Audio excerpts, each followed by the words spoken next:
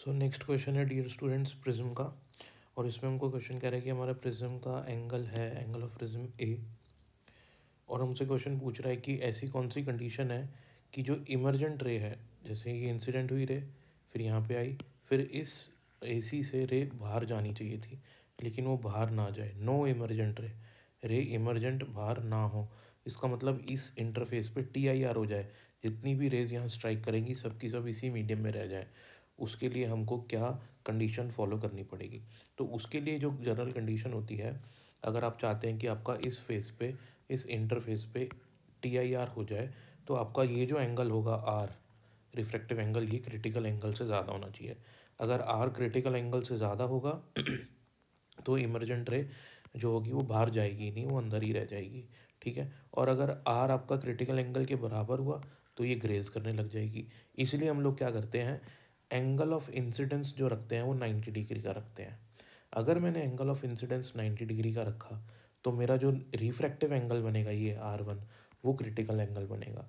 ये कैसे हुआ?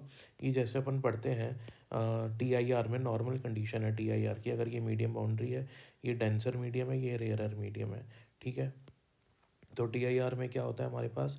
कि डेंसर मीडियम से रे जाती है। डेंसर मीडियम से रे जाती है। अगर वो रे क्रिटिकल एंगल पे स्ट्राइक करती है तो वो रेयरर मीडियम में ग्रेज करती है। रेयरर मीडियम में क्या करती है? ग्रेज करती है। इसका अपोजिट भी ट्रू है। मतलब अगर रे रेयरर मीडियम से ग्रेज करती हुई जाएगी, अगर रे रेयरर मीडियम से ग्रेज करती हुई जाएगी तो डेंसर मीडियम में क्रिटिकल एंगल का रिफ्रैक्टिव एंगल बनाएगी। ठीक है, इसका अपोजिट भी ट्रू है, वो अपोजिट केस गया। ये रेयरर मीडियम से नाइन्टी डिग्री एंगल बना रही है, या ग्रेज करती हुई जा रही है, इसको कहते हैं इंसिडेंट ग्रेजिंग इंसिडेंट रे ठीक है ना? ग्रेजिंग इंसिडेंट रे तो वो डेंसर मीडियम है, ये डेंसर मीडियम है प्रिज्म का, यहाँ पे क्रिटिकल एंगल बनाएगी, ठीक है? अब यहाँ पे क्रिटिकल एंगल हमारा बन गया तो रे यहाँ पे स्ट्राइक करेगी। अब यहाँ पे जो एंगल होना चाहिए, वो क्रिटिकल एंगल से ज़्यादा होना चाहिए, ताकि ये बाहर ना जाए, अंदर ही रह जाए, ठीक है? तो हम क्या लिख सकते हैं? एंगल ऑफ़ प्रिज्म और ये जो हमारे रिफ्रैक्टिव एंगल्स है, दोनों आर वन आर टू इनके बीच में ये रिलेशन होता है। तो ए बराबर R one plus R two आ जाएगा। आर वन की जगह सी आर टू की जगह आर आ जाएगा। तो यहाँ से आर क्या आ जाएगा अपना?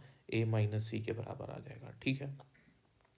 अब हमको ये पता लग गया कि हमारे आर की वैल्यू है ए माइनस सी अब हम ये वाली कंडीशन यूज़ कर करते हैं कि आर जो होना चाहिए वो सी से बड़ा होना चाहिए ताकि यहाँ पे टी आई आर हो जाए। तो आर की वैल्यू है ए माइनस सी तो आर की जगह लिखते हैं minus C should be greater than C so should be greater than C तो ये माइनस सी वहाँ जाएगा तो टू सी बन जाएगा. ये टू नीचे आएगा तो ए बाई टू बन जाएगा. दोनों तरफ़ साइन लेंगे तो sine A by two sine C हो जाएगा. साइन सी की वैल्यू क्या होती है? वन बाई म्यू तो वन बाई म्यू आ जाएगा, ठीक है? म्यू ऊपर चला जाएगा साइन ए बाई टू नीचे आएगा. So mu should be greater than one by sine A by two will be the answer